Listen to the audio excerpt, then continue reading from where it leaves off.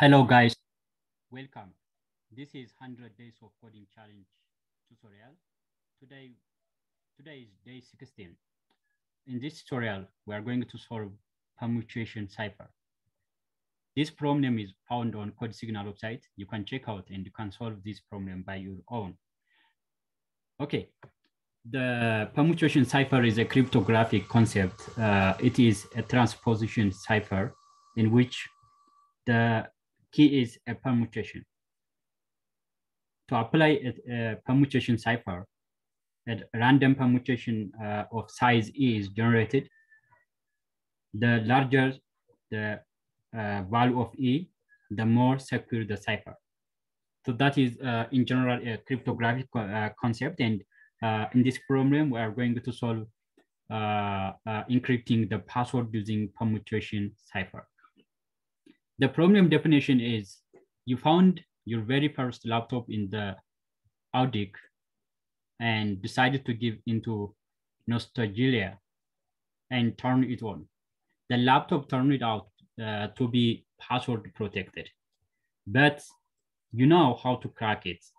You have always used the same password, but encrypt. So the output should be permute uh, that takes the password and the key as input, and it's going to generate encrypted password by permutating or by transposition, transposing the password, the given password by the key.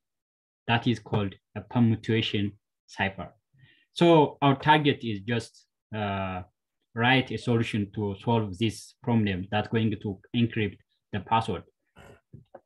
In this case, uh, this is the function definition and it takes two parameters, that is the password and the key. And our target is how to write uh, the solution for this problem. Actually, in this uh, case, I'm going to use a maketrans method. The string method that is string, I mean, str dot maketrans that takes uh, the input, for example, ABC and BCD. This going to return a mapping. Uh, this uh, maketrans uh, is uh, the string method that's going to return a mapping table that can be used with translate method. So this uh, mapping uh, table for translation usable for translate method, and it is a static method uh, method that that can create a one-to-one -one mapping of a character to its translation or replacement. For example, in this case, uh, for example, this is a given password and this is a key, let's assume, and it creates a mapping, a one-to-one -one mapping. Uh, for example, the A in, uh, in the numeric representation of the A is 97. Uh, the second uh, argument of the first letter is 98. And it creates just like this until the end of all the characters. So this is the, the most important method that uh, creates a mapping uh, that's going to use uh, for translation to replace the password with the key. So in this case, uh, what about, there is another method because we are going to just replace the given password, the, I mean, uh, the key, we are going to create a mapping of the all alphabets starting from A to Z uh, uh, by uh, uh, using the a key, the given key. So we are going to use uh, a string method. This string method has the ASCII characters. Uh, instead of writing each small letter uh, character in a variable, we can just use string ASCII lowercase. This takes all the lowercases starting from A to Z.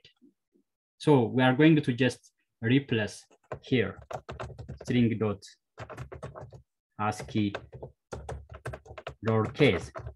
And let's take the key from the given example.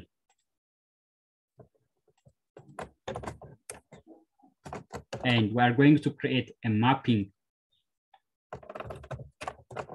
You see, it creates the first character uh, in the alphabet is mapped with the first character uh, in the given key. That is a mapping. And the translation going to translate this uh, given uh, uh, the table into uh, encrypted password using the password, the given password. All right, uh, let's create this. This is a table. In this case, okay, let's copy this inside this function. And our target is, for example, uh, let's take the password, the password.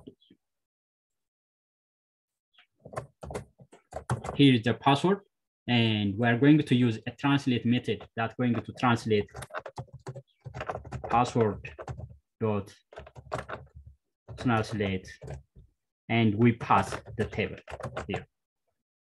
This is going to return. This is the encrypted password, uh, as you can see here. So uh, it's going to return, I mean, uh, password dot translate that takes the mapping from uh, table and we can now we call the function permute and we pass the password and key and it generates the encrypted password. So this is the cipher uh, permutation cipher. Uh, we can encrypt.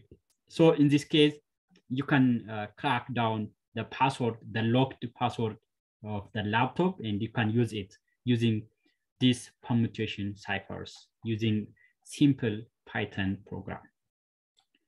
So this is day 16, and you can watch uh, starting uh, from day one up to day 15. And you can also uh, register and participate in uh, CodeSignal website. There are a lot of uh, problems available on CodeSignal website. Thanks for watching now.